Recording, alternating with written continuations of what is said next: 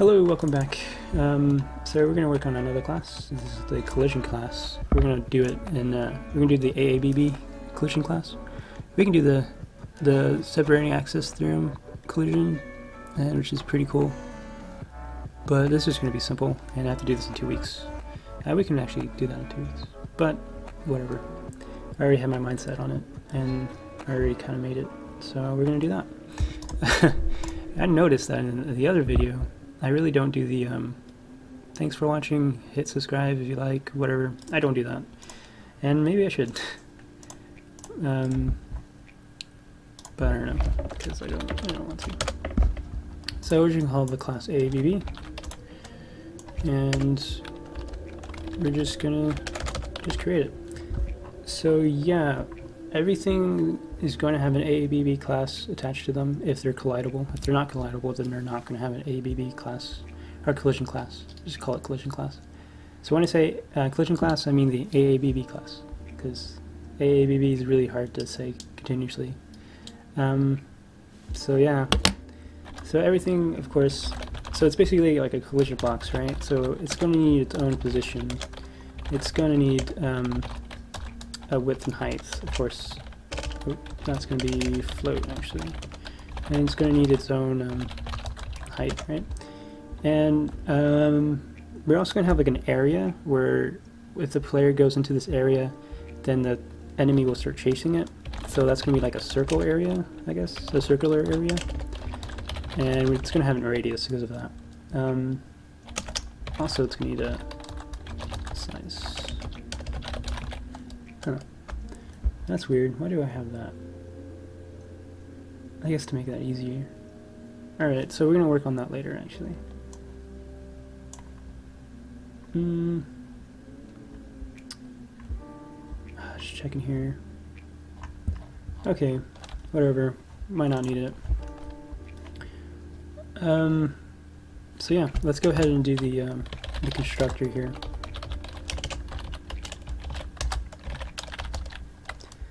So of course vector f pos w nh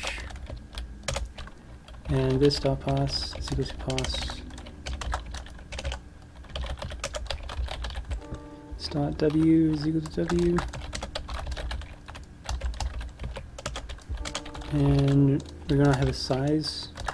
So if they're if they're different um if they have different uh what's it called? Width and height, we can just find the max and make that the size. This is mostly for the sprite class, because the sprite class also does that, in a way. Um, we're going to have another one, another constructor. This is mostly for the, uh, for, um, for the circular collisions.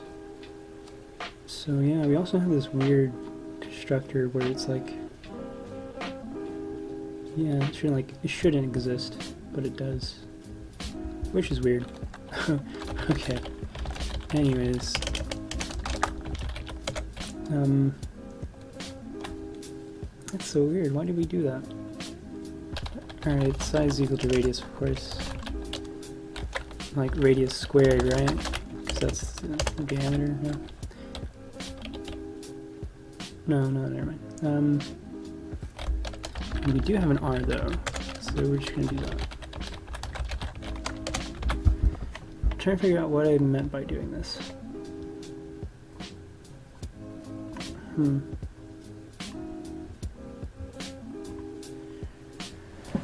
Oh well. Um, I'm sure it's not that important. I see that now. Um, so we're gonna have a getter that gets the position of the box.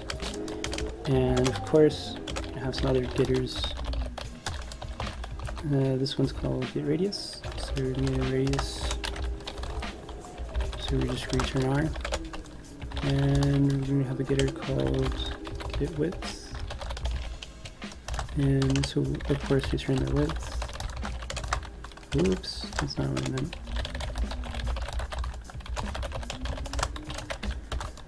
And yep, some getters.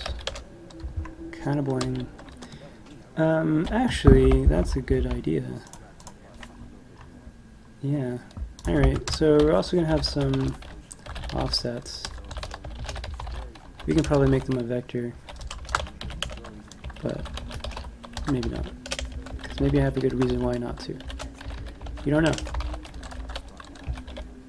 Past me was like, okay, this is the plan, alright? Don't make them vectors. And present me is just like, sure, why not? Because I don't want to deal with that anyways. So let's go ahead and make a set box. So just in case, like maybe like the um, the boss gets like a, uh, a a bigger like attack range or whatever, we can do that with this method. Uh, we can change the position if we want to. So like it's offset or something. And we can set the width to make it bigger and also the height to make it bigger just to make it harder, I guess, for the um, for the player to to fight it, because we we always want to challenge. And also, we can set uh, the circle to be bigger as well, so that if the player is in a certain area and maybe um, doesn't want to be in that area, I guess, and it kind of skirts around, we can be like, no, you're going here, we can totally do that. I mean, most games really don't do that. Like, they're like, you don't want to be there, don't be there. But, no, not this game. We're the hardcoreest. Um, so we also have this uh, method called setWidth. And I have this weird thing going on with the, another class, but we're not going to do that. Cause no. No past me, no. You screw up too many times. Um... Yeah, maybe we should have. But then again, no.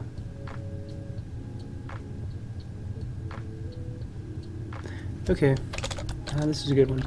So, here's the x offsets. So set x offset, and it's gonna be a float because it's a float. And set the x offset. Whoa. Uh, void set y offset, and the y offset. I noticed that like I actually lean further and further away from my mic. Hopefully that didn't like ruin the sounding. I care a lot about sound. Um, maybe a little too much. You gotta be chill about it. And so this is this is colliding two entities. So um, yeah. So this method is going to be a, a colliding method that basically almost every entity is going to have to check if it's colliding with a player or maybe itself. So the first thing we need to know about ABB is that we need to get the points of the middle of the box. So we're going to do that. Um, and we're probably going to do this because we're to have this in here. And we're going to get the world wire position. Not not on screen because not like that. And since we have an X offset, we can might as well use it. And then we're to add that to W divided by 2 to get the middle of that. Uh, phone, shut up. Um, I'm not to answer that. Hopefully you can't hear that. See? I should have turned it off. But I don't want to. Because maybe that was important. And maybe, I don't know. Um, HW2, so to get the middle of that. And then we can, we can find the uh, middle of the BX. Um, so the AX is the middle of the position here. Um, so AX is referring to this class, and BX is referring to this class. It's different, but the same. oh my gosh, it's hilarious. Uh, I made myself laugh. Alright, that's cool. Get world var dot x. Oh gosh. I don't know why I find that so ridiculously funny. So then we have to count for if they have an uh, offset. They might not have an offset, but they also might. might. Um,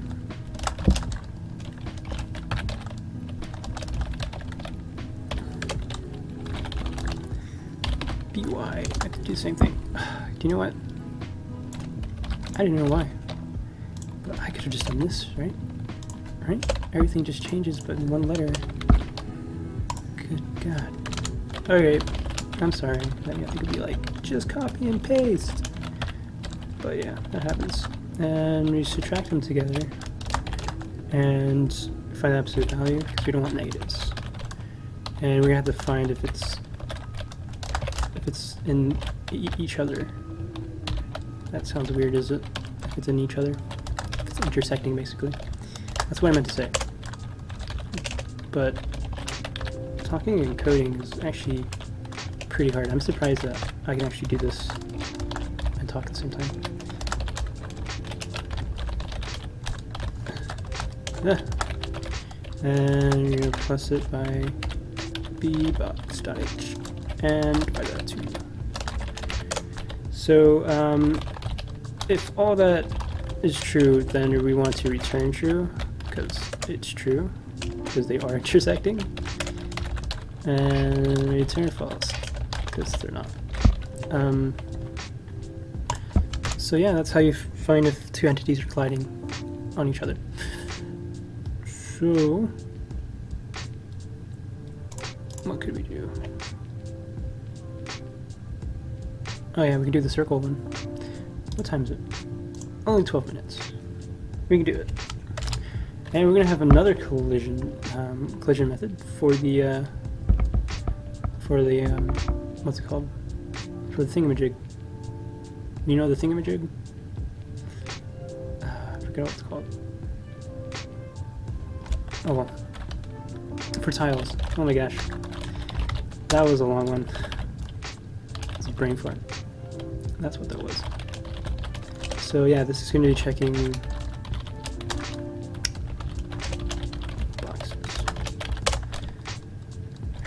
So we're to return false because I don't want that error to be there. Ah, there we go. And CX is referring to this class. So this boss Get x. Um, and we have to find middle again. And what's really weird, like, you would imagine that just dividing by 2 would be enough, but no, you have to find the square root of 2, which is just kind of stupid. And this is where it gets weird. Hmm. Do you know what? I understand why why past me did that. That's understandable. All right. However, we're not we're not going to do that. We're going to do it a little differently. Because we don't have that class, but I mean that class kind of extends this class anyways. So yeah. So let's go ahead and do that. Private entity E, because we named it that. Um, so this is why, okay. Pass me, you're alright. Just saying, you're alright. Okay, so then we get the size, and we haven't, we didn't make that, did we? Where's entity? Where are you at? Do we have a get size? We don't have a get size. Um, let's make that. Where should we put it? Oh, we'll put it right here. Um, is it a float? Is size float? No, it's not.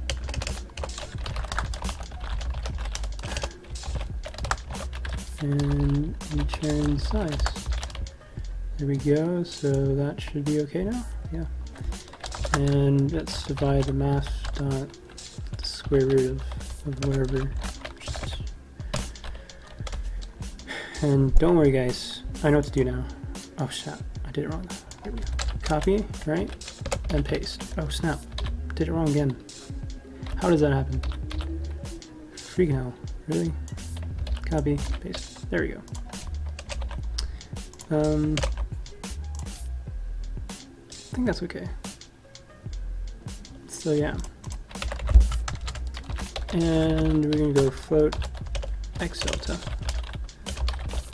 Um, is equal to cx minus math dot max. And we're trying to find the maximum of these two integers.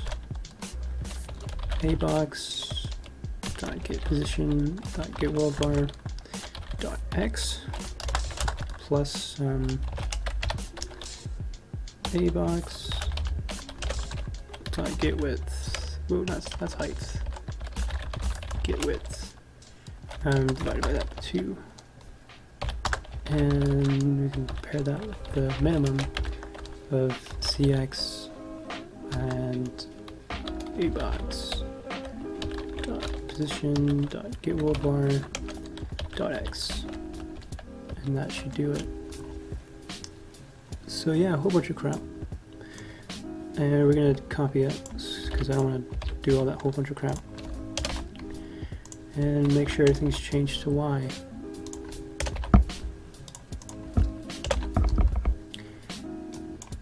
Uh, past me left no notes explaining how to explain it. Um, but basically find the radius. It's kind of like the, uh, what's it called? Um, I forgot what it's called, damn it. Um, the distance formula, I guess? It's kind of like that. Um, yeah, we probably need to do that. And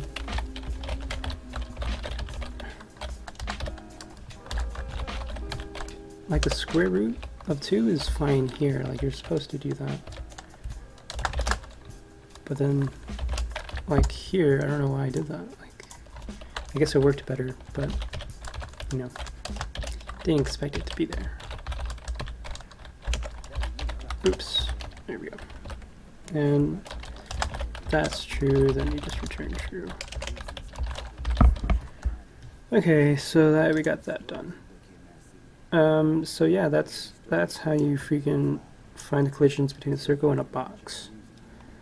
Um, so this is the circle um, X var and Y var, or the world var, anyways. Yeah. Stuff and things. Sorry, like 18 minutes. So I'm gonna stop there. Alright, thanks for watching everybody. Goodbye.